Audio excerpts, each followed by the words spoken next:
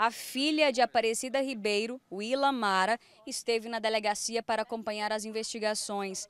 Ela não conteve a emoção ao lembrar que o Natal deste ano foi diferente de todos os outros, sem a presença da mãe dela. Nunca mais eu vou abraçar minha mãe, nunca mais eu vou dar benção para ela.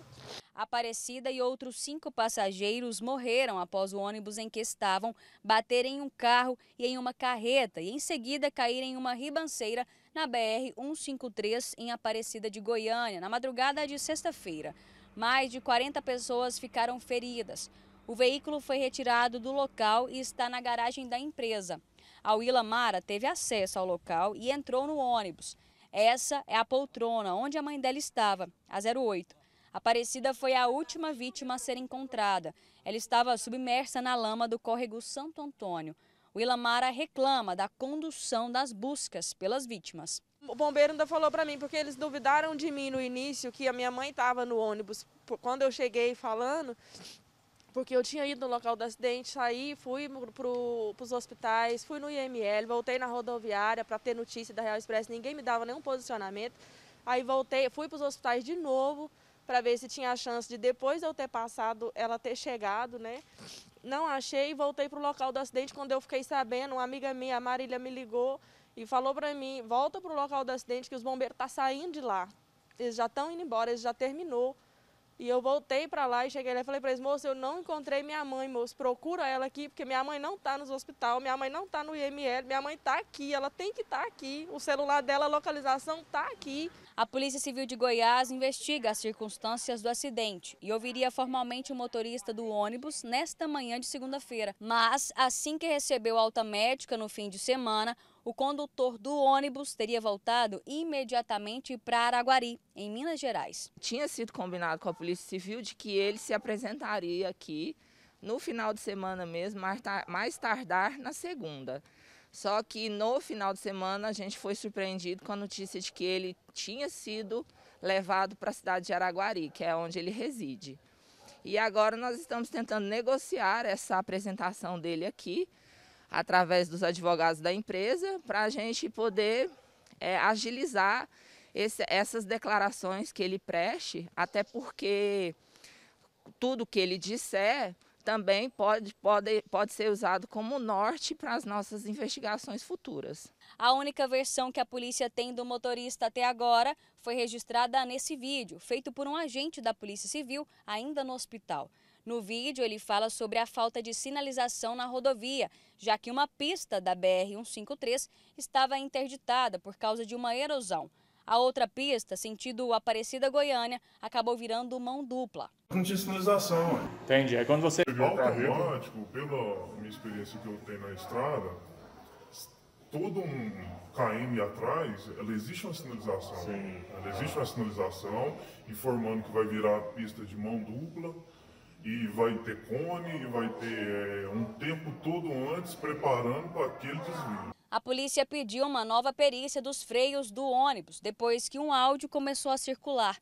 A mensagem foi supostamente enviada em um grupo da empresa de ônibus. O homem, que seria o motorista, diz que estava saindo de Araguari, em Minas Gerais. No áudio, ele identifica o número do veículo e fala sobre o problema mecânico.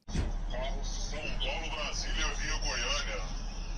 11719, saindo nesse exato momento de Araguari. Observação, muita chuva. O carro está com problema de freio, freando só um lado. Então a gente está indo mais no sapatinho aí para evitar transtornos maiores. A Polícia Técnica Científica tem essa uma sessão de áudio e imagem específica para esse tipo de trabalho. Então, nós vamos encaminhá-lo de modo que ela nos diga com certeza que o interlocutor desse áudio seria realmente o motorista, né? É, do ônibus, até porque a gente tem aquele vídeo gravado com ele e eles podem ser comparativo um do outro para poder eles nos dar essa, essa resposta que a gente procura e também dizer se esse áudio é legítimo, é original, se ele não sofreu nenhum tipo de corte e se ele é uma prova suficiente para demonstrar que pode ter acontecido alguma falha mecânica no ônibus. Outro áudio que pode ser incluído nas investigações é esse da vítima Aparecida, gravado por ela durante uma viagem pela mesma empresa de ônibus em novembro. Ela relatou para a filha que ia atrasar porque havia problemas mecânicos com o veículo. Mas está saindo aqui agora, está no rumo do shopping. Viu? Atrasou demais, era para ter saído 15 para as 4. Dizendo o motorista meia-noite e meia nós chega aí, mas eu acho que não. E ele disse que o ônibus está com um probleminha aí que vai, vão, vai andar mais devagar para tentar chegar aí. A empresa que administra a BR-153 também pode ser responsabilizada. Tanto o motorista do carro da concessionária quanto o condutor do ônibus disseram que os cones de sinalização estavam posicionados já bem perto do desvio. A investigação vai apurar se essa sinalização estava precária e se contribuiu de alguma forma com o acidente. Como se trata de uma rodovia desse porte, é, eles têm que se munir de vários elementos de sinalização para poder chamar a atenção do condutor e o condutor que não passa frequentemente nessa via, como foi o, a declaração que o motorista deu, ele não pode ser surpreendido por um desvio tão extenso e que comprometa tanto assim o tráfego, né? Para a filha de Aparecida, o local do desvio estava realmente mal sinalizado. Eu cheguei no, no local do acidente em torno de uma hora depois do acidente e não tinha nenhum cone lá.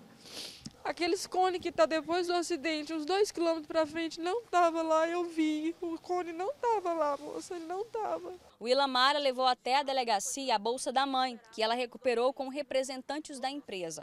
A bolsa, no entanto, estava sem os pertences de Aparecida. Você acha que essa bolsa entrou dentro da água?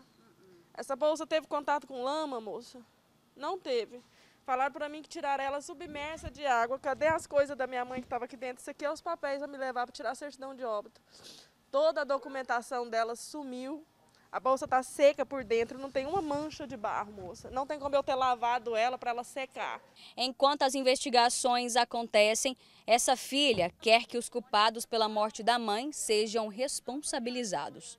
Eu quero justiça, mas eu quero que alguém me responda, alguém me fala quem foi o culpado da minha mãe ter morrido, porque teve um culpado.